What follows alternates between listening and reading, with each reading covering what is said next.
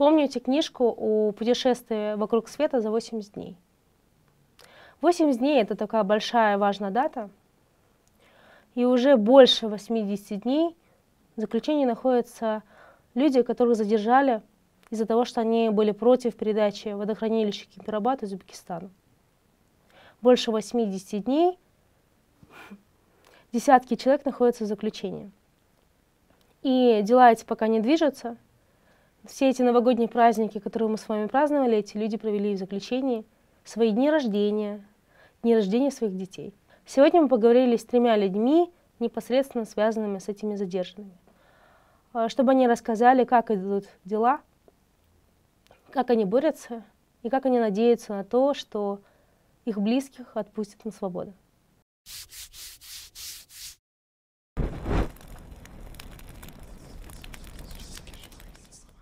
Здравствуйте, Кассиет. Задержанные по Кемпирабадскому делу находятся в заключении уже более 80 дней. Расскажите, пожалуйста, в каком состоянии находится ваша мама Рита Карасартова? Uh, моя мама, вы знаете, наверное, еще с что она жаловалась э, на щитовидную железу, у нее обострение началось, и буквально два дня назад мы взяли пробирки с лаборатории, взяли кровь, и там показала пониженное ТТГ. Пониженное ТТГ – это ну, как бы увеличение щитовидной железы, по-другому это называют ЗОП. Она сейчас принимает э, дозу дневную, увеличенную в три раза. То есть э, в этом плане у нее э, плохо. Но есть хорошая новость. Э, всех э, женщин, которые курили, их перевели в другую камеру, и сейчас она находится как бы в некурящей камере, да, что в целом положительно сказывается на ее здоровье, если можно так говорить. До этого ваша мама говорила, что не проводили никакие работы по самому делу с ней, не разговаривали. А, может, что-то изменилось за 82 дня? Опять же, буду опираться на последний суд, когда говорили, что какие-то документы передали на экспертизу. Непонятно, какие документы. Скорее всего, это посты в соцсетях э, несколько лет давности. Ну, то есть они перерывали все соцсети и смотрели, да, что могло бы скомпрометировать э, их. И вот эти посты они, видимо, передали на экспертизу. А адвокаты до сих пор не могут понять, что это за посты, то есть им тоже не предоставили эти документы. И, то есть экспертиза проводится просто непонятная какая-то там. То есть их до, э, до сих пор не вытащили. Они должны поехать в ГСУ МВД, чтобы расписаться, что мы ознакомлены как бы, с материалами дела. Да? Пока что этого не было. Какие посты, какие видео, тоже непонятно. Это в целом очень странно, потому что особенно есть это старые посты. Как это относится к делу о якобы попытке захвата власти? И как вообще Рита Карасартова соотносится с попыткой захвата власти, если она всегда соблюдает законы? А, но давайте вспомним недавно прошедший митинг в поддержку массово задержанных, на котором произошли массовые задержания. Вы были одной из участниц этого митинга. Расскажите, пожалуйста, как это было? Uh, ну, митинг назывался «Мы замдулук Гельсин», да, то есть обычно все, все время мы скандинируем там Гельсин, Деминбашчисы Гельсин и так далее, а тут Гельсин, потому что, ну, реально у нас нет законности, и давайте хотя бы будет какая-то законность, да. Uh, людей было немного, больше было, наверное, сотрудников uh, МВД и кто там был, вообще не знаю, то есть в целом больше было сотрудников. Uh, мы рассказали про свои требования, нам предъявили как раз-таки постановление о том, что продление на запрет митингов с 26 декабря. Что очень странно, э, решения первой инстанции, они подлежат, э, э, как это называется, пересмотру, да, mm-hmm. то есть, а, все, они подлежат обжалованию в течение одного месяца. Но в этом постановлении обжалование обжалованию давалось только один день. То есть 26 декабря решение вынесли, а 20, ну, как бы, обжалование было только до 27 декабря, да, что тоже очень странно. Может быть, я ошибаюсь, но вот какие-то главные процедурные моменты в целом я понимаю. Э, это одно. Другое, э, из запретов были те же локации, там, Белый дом, ГКНБ, да, э, посольство Российской Федерации, но МВД не было, но как мы общались с представителями МВД, они сказали, что это административное здание, и перед ним тоже нельзя проводить, да, хотя прямого запрета не было. Ну хорошо, мы тоже подчинились, к нам вышел замначальник МВД, этот Чукибаев, то есть рассказал о том, что мы можем с ними поговорить напрямую и так далее. Мы такие, хорошо, э, все выслушали. И э, нас попросили в целом уйти, да, не ходить до Дома правительства. На самом деле это был пеший марш. Э, я не привыкла ругаться с органами власти, и я просто такая, хорошо, я сейчас попробую переубедить людей, чтобы они уходили, да. На что у нас вообще в целом с людьми я не смогла договориться, потому что, ну, они тоже на взводе, это понятно, да, что, типа, сколько мы требуем, а у нас там даже свидания не разрешают. Я сама ушла, а остальные продолжили пеший марш, и, видимо, на тот момент их схватили. А, что я скажу? Мне кажется, за отдельными личностями, за родственниками отдельных ярких представителей этих задержанных а, идет отдельная слежка в целом я это заметила на себя. Да, ты писала о слежке, это даже не первый случай, когда ты говоришь о таком факте. Да, я это заметила еще с начала задержания. То есть не с начала задержания, а с начала активной деятельности как бы, по защите задержанных. Э, была странная машина, об этом я писала. Были неоднократные попытки взлома но в целом я хорошо защитила свои соцсети. И вот недавно, как раз-таки после этого митинга, как я ушла, зашла в кафе, э, и за мной две мужчины зашли. Я сперва не обратила внимания, потом... Очень странно, когда сидят две мужчины, пьют колу и чай, да, на протяжении там двух часов. Даже не общаются с друг другом, просто сидят. Я такая, ну, а что это? Давайте я их сфотаю. Потом я вышла, хотела... Сори за такие подробности, я просто хотела купить милкшейк, которого в кафе не оказалось. Пошла э, в буфет, это все происходило в Беладжио, э, в центре города. Потом я пошла в буфет, хотела купить милкшейк, я оборачиваюсь, и один из мужчин прям за мной, э, и он, видимо, такой испугался и сразу зашел в другую комнату. Я такая, окей, класс. Дальше иду, третий мужчина. Он такой, спешки, где буфет? Он, на... он у меня увидел, он такой, типа, чуть в шоке была. Я такая, ну, скорее, видимо, третий. Дальше иду, покрутилась возле елки, я была с другом. Там пофотались, э, такие, ну, наверное, они отстали. Потом я пошла дальше на работу, э, иду, и за мной мужчина. Такая, ну, видимо, в одну сторону. Но нет, он как бы идет туда, куда я иду, а я так, типа, сюда, туда поверну, то туда поверну, просто чтобы проверить. Он также за мной шел, я зашла в Лулуло, его не было, я такая, ну, наверное, увидел, куда я зашла, и все. А, потом я опять выхожу, а он в растерянности внутри ходит, не понимает, куда я ушла. Я на него смотрю, он на меня смотрит, и такой, он типа тихо вышел, а это такое место, где сразу видно аутсайдеров, то есть э, если человек э, не заходил в это место, он такой тоже чуть-чуть э, в шоке, такой, а что где находится, да, он реально был в растерянности, но я тоже улыбнулась, в целом вот насчитала четверых, может их было больше. Жаль, что они заставляют сотрудников тратить свое время на людей, которые не, не допускают правонарушений. А, недавно глава ГКНБ Кончибек Ташиев говорил о всепрощении – есть ли у тебя надежда, что это коснется дела о Химперабаде, учитывая, что следствие пока не предоставило никаких доказательств того, что хоть кто-то из этих людей действительно в чем-то виноват? А, есть надежда. Надежда всегда есть, она не умирает, конечно. Я не знаю, касается ли его прощения именно кемперабадцев, да, но в целом надеюсь, что их выпустят. Ну, не, нельзя стольких людей держать, да, как бы у родственников тоже терпение лопнет. И если бы они действительно готовили какой-то мятеж, э, тут бы несмотря на запрет, собиралось бы тысяча, две тысячи, там, чуть ли не десять тысяч человек, да, но такого не происходит, самые близкие родственники только требуют, и это и в целом должно э, доказывать, что как бы ничего-то они не готовили на самом деле. Привет, Нураим. Вот уже больше 80 дней твой супруг находится в заключении а, по очень странному делу, когда его забрали просто свидетелем вначале, а потом попытались обвинить а, в некой попытке захвата власти. И ты столько дней его не видишь. Расскажи, пожалуйста, в каком состоянии находится твой супруг Али Шабдан?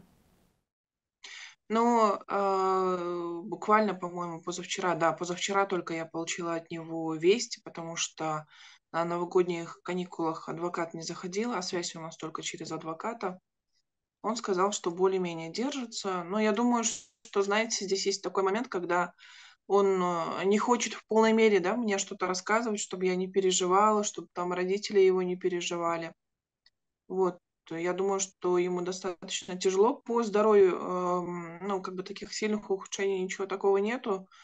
А, страдает от состояния камер сейчас, потому что их перевели, получается, в камеры похуже. И там, опять же, кишат э, клопы, кишат тараканы, мы уже несколько средств передали для борьбы с ними. Он вот буквально там сказал, чтобы еще передали, потому что вначале помогло и снова появляются, да. Вот, никакого ремонта, сырость. Э, с его стороны он сказал еще солнечно хорошо, а с другой стороны, где не солнечно, там достаточно сыро, дышать тяжело и холодно.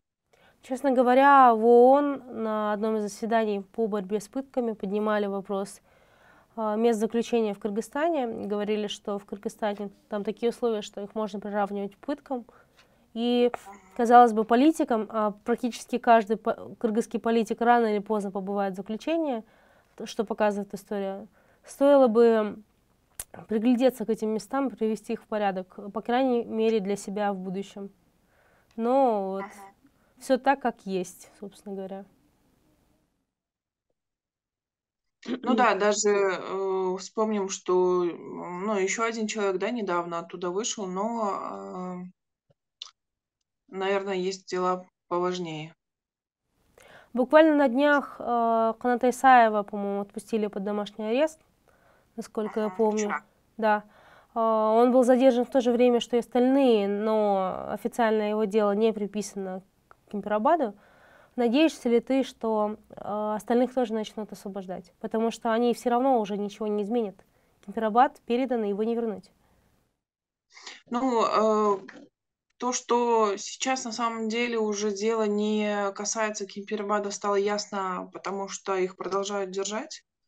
А, передали какие-то материалы, то есть следственные мероприятия вот только, да, а, грубо говоря, разгоняются, потому что какие-то материалы передали на экспертизу, на лингвистическую экспертизу.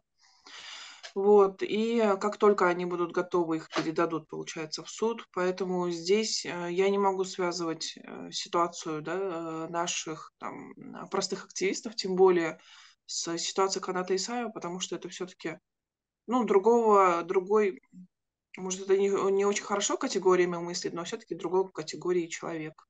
Поэтому как бы где-то есть надежда сама по себе, да, без э, привязок к таким ситуациям. Но я, я не привязываю, вот, например, что вот его отпустили, значит, других. Я думаю, что это э, другой человек с другими намерениями, поэтому нет. Ну, честно говоря, большинство задержанных это не те люди, которые пойдут перелазить заборы. Они даже если выйдут, максимум выйдут на мирную акцию протеста, потому что а, они ставят э, вперед соблюдение законов. Соблюдение законов не позволит им ничего перелазить. Да. Тем более мой муж, он всегда за верховенство закона. А есть ли какие-то хорошие вести от адвокатов? Движется ли дело в какую-то более лояльную Шабдану сторону? Нет, пока таких э, положительных каких-то динамик или э, ну, намеков на что-то хорошее нету. Кроме того, что ходят слухи, что их, возможно, отпустят, потому что, да, ну и плюс еще после там каких-то слухов еще появился пост о э, великом прощении, да, поэтому здесь только надежды, но вот чтобы официально что-то такое было, нет. Это, конечно, печально, что мы в своем прекрасном государстве э, не можем верить и надеяться на законы. Что знать, что вот, тут нету доказательств, а следствие ничего не доказало, значит, суд должен их отпустить. Единственное, что мы, по сути, делаем, это надеемся и ищем двойные смыслы в постах разных политиков. Отпустят или не отпустят. А, расскажи, пожалуйста, как обстоят дела у тебя? Ты недавно ходила на митинг в поддержку задержанных. Там были тоже массовые задержания, полный автозак бабушек. И, честно говоря, я очень боялась, что тебя тоже задержат, а у тебя дома ребенок. А, да, мы по какому-то вообще как, каким-то образом, получается, я и вот с женой Ирлана мы шли э, впереди, но э, сзади люди пошли по-другому, поэтому мы, пока их догоняли, остались позади, получается. И в то время, когда начали задерживать, мы просто остановились э, и не стали да, в это влазить, э, и поехали в РОВД сразу своим же ходом.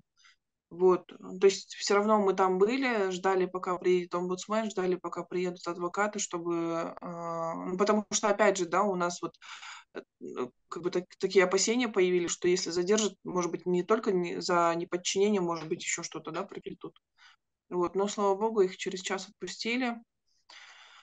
Э, очень жаль, конечно, что даже родственникам политзаключенных, даже родственникам, а, которые ну, просто переживают, да, они не имеют отношения ни к каким там политическим движениям. Очень жаль, что даже а, и у них отбирают вот это право как-то переживать за своих родных. Хотя, казалось бы, когда наш президент был в заключении по очень сомнительному делу, его близкие выходили на митинги не раз, кого-то задерживали. Был в том числе 5 марта 2020 года очень крупный митинг сторонников и членов семьи Садыра Джапарова. А, он, как никто другой, знает, что такое, когда давят на твою семью и задерживают родственников за то, что они просят тебя освободить. А, недавно жена Эрлана Бекчуроева, Шашикули, с которой ты, собственно, находилась на митинге, записала обращение к жене Садыра Джапарова Айгуль, которая в свое время боролась так же, как вы, за свободу своего супруга. Не думала ты обратиться к первой леди, чтобы она тебя поняла? А, я думаю, нет, потому что нет смысла. Я не вижу в этом никакого смысла, честно.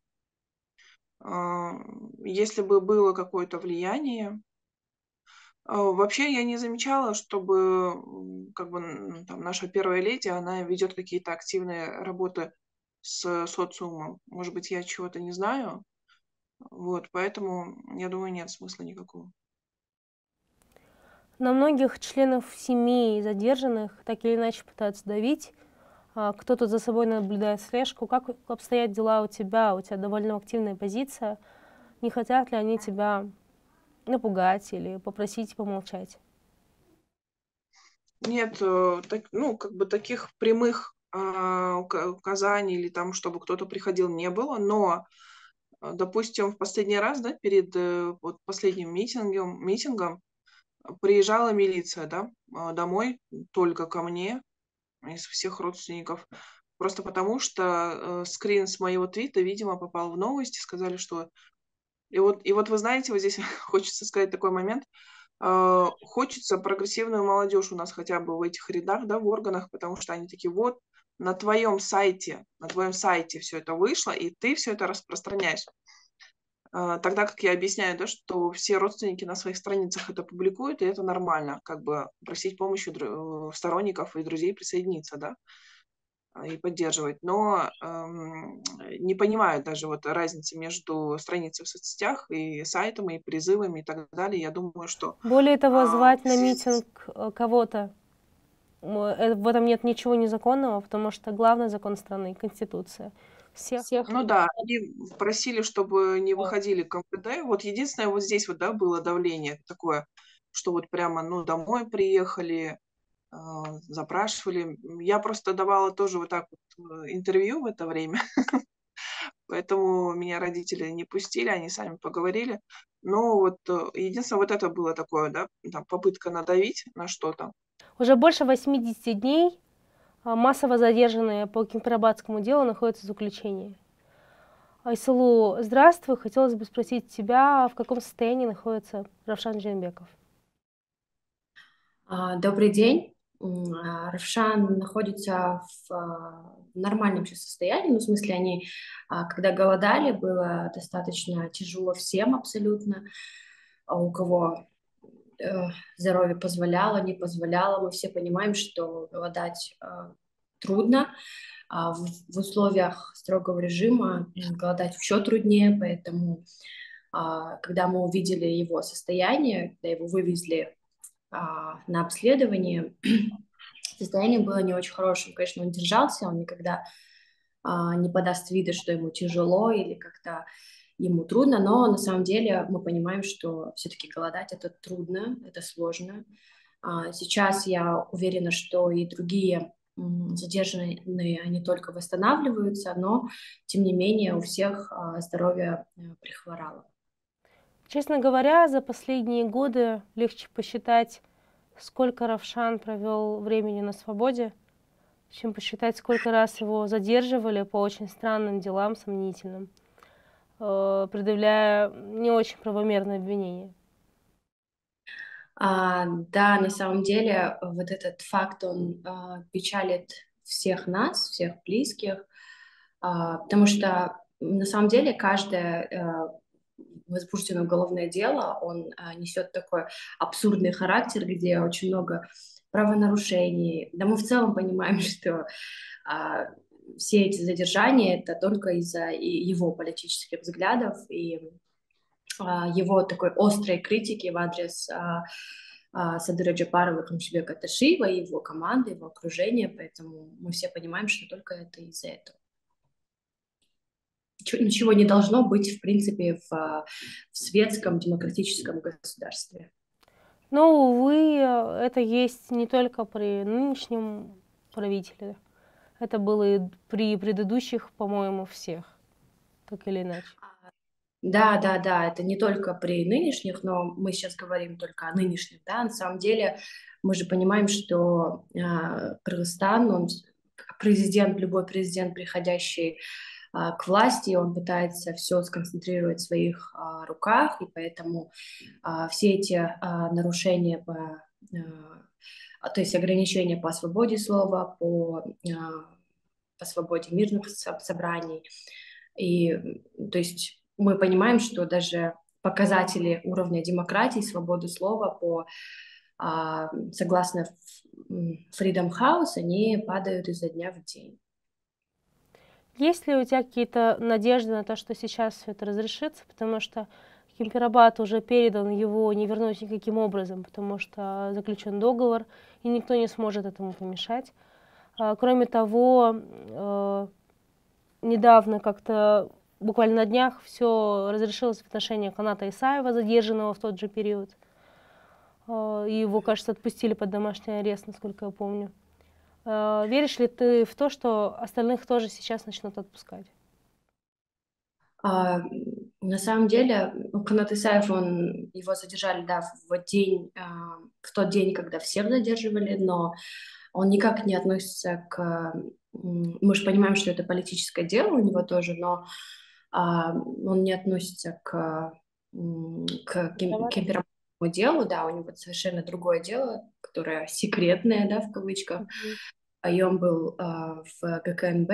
А, конечно, надежда умирает последняя, я не хочу опускаться до уровня, то есть если мы теряем надежду, мы опускаемся до уровня а, нынешней власти, до уровня а, несправедливых судов, поэтому м- мне бы хотелось верить, что каким-то образом мы можем вернуться в правовое русло. Никогда не поздно, да, пока мы об этом говорим, мы это требуем, мы э, как-то выходим на митинги для того, чтобы требовать э, э, вернуться да, в правовое русло. И мы, конечно, своими действиями показываем, чтобы власть наконец-таки э, приш, вышла на тот путь, когда а, не нарушаются, то есть не, не сильно, в целом, да, не попираются права и свободы а, граждан, которые выражают свое мнение.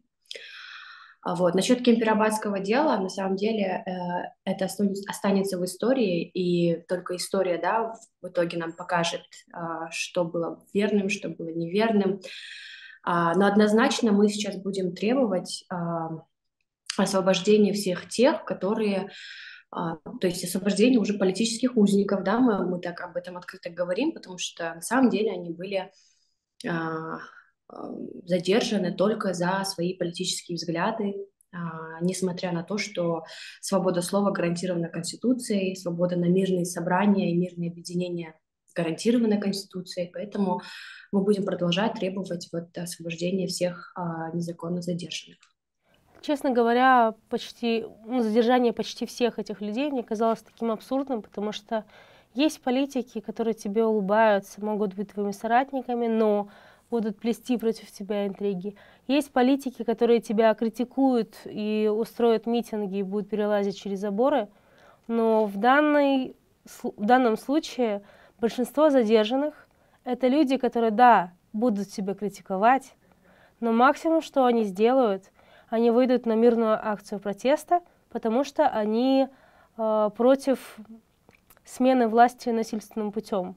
Потому что в таких случаях погибают часто люди, и э, новые власти никогда не стоят тех людей, которые погибли. Да, я совершенно э, согласна с этим мнением. И нам надо понимать, что свобода мирных собраний, свобода слова, э, ну, в целом человек рождается с таким вот э, с данными свободами, да, свобода мирных собраний, свобода на слово, свобода от пыток, а, свобода от рабства, да, это абсолютные свободы, которые нам гарантированы при нашем рождении. И они не могут вот так вот просто так вот ограничиваться. А, государство может давать нам право, а, скажем так, на, то есть право на свободу слова и на свободу мира собраний, но ограничивать в каком-то одностороннем порядке они не имеют ни, ни, никакого права. Буквально на днях прошел митинг родственников массово задержанных людей, и их, как не кстати, тоже массово задержали. Сегодня идут суды над массово задержанными. Массовые суды, так сказать. Расскажи, пожалуйста, как это было, потому что ты была на, на этой акции. Ты снимала это на видео в том числе, и а, у тебя были очень интересные истории по этому поводу.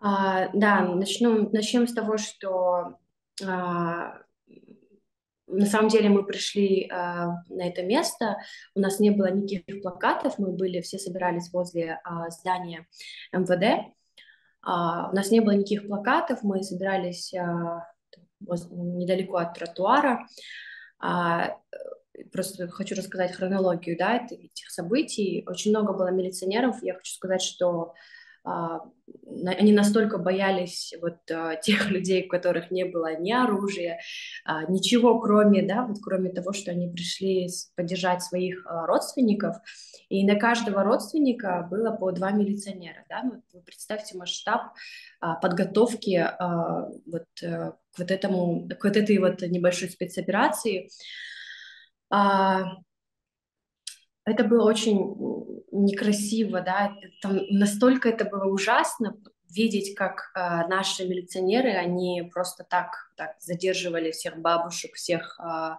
а, жен, сестер а, задержанных, это на самом деле они, наверное, хотели показать свою силу, но показали только свою слабость. А, мне хотелось бы сказать, что а, милиционеры абсолютно не знают даже своих а, каких-то, ну, то есть не, не знают каких-то а, законов, которые а, прописаны Конституцией, написанные, а, принятые, да, Садыром Джапаровым самим. Не разрешать стоять на тротуаре, это вот что за вот такое вот отношение к, к своим гражданам, хотела сказать. А другое — это то, что а, свобода на мирные собрания, они должны, а, они нам даются с рождения. Но эту свободу государство просто так, э, э, то есть берет и, скажем так, ее начинает э, ограничивать да, настолько сильно. То есть не было, там не было противоправных каких-то действий, не было оружия. Мы пришли просто собраться возле здания МВД.